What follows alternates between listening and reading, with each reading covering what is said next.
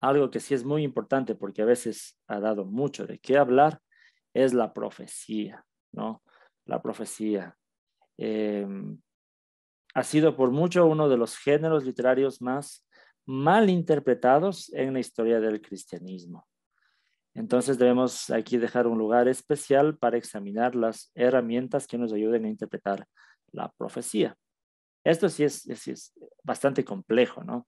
Por tantas cosas que, se dicen, a veces por la escatología, está de moda, ¿no? Ahora esto de, dar fechas, cosas por el estilo.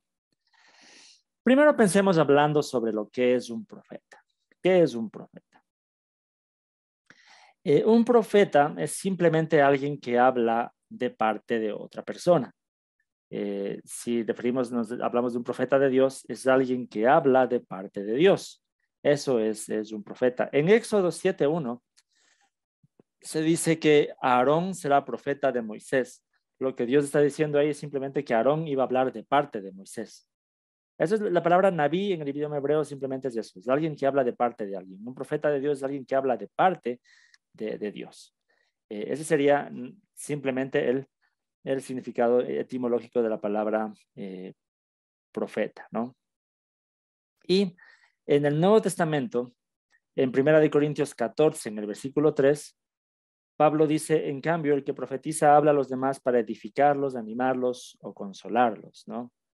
Y, vamos viendo que muchas veces este de, profeta tiene ese significado de traer un mensaje de parte de Dios, pero no necesariamente está hablando de ver el futuro, de predecir el futuro.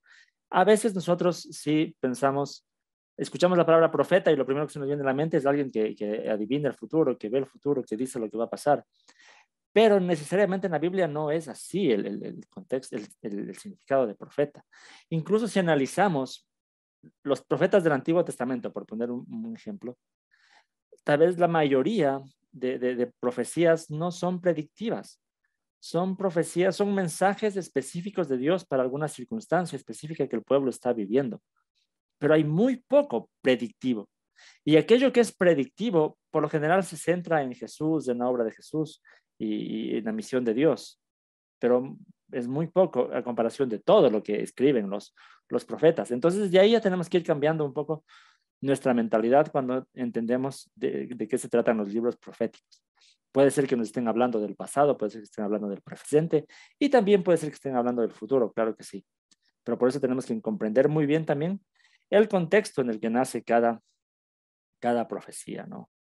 Eh, la profecía, entonces, lo primero es estar claros que no se trata de solamente mirar el futuro, solamente eh, lo, predictivo, lo, lo, estar adivinando las cosas, ¿no? Son mensajes que tenía Dios incluso para ese pueblo, para las circunstancias específicas, ¿no? Un ejemplo muy, muy claro de esto es en el libro de Jonás. El, eh, Jonás, Dios le manda a, predicar a Nínive y decirles que en 40 días la ciudad será destruida. Y ese, fue el mensaje de Jonás en 40 días la ciudad será destruida. No les dice arrepiéntanse, no les dice esto es condicional ni nada, solo les dice, les está anunciando lo que va a pasar. En 40 días Nínive será destruida.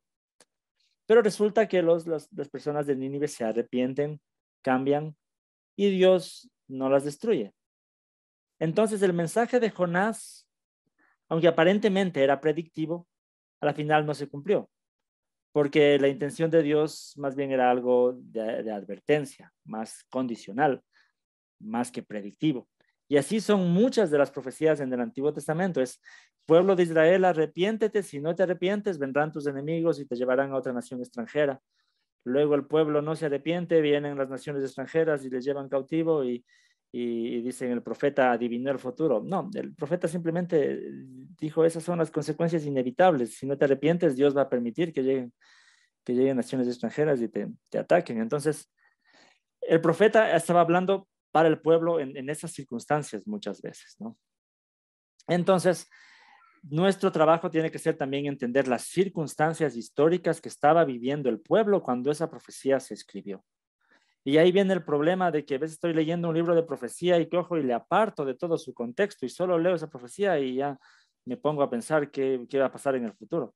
Pero no, nació en un contexto específico, en, unas circunstancias específicas. ¿Qué estaba viviendo el pueblo en ese momento y, qué mensaje Dios tenía para ellos en ese, en ese eh, momento específico, ¿no? Entonces es importante, como en todo, ver el contexto histórico en el que nace, ¿no?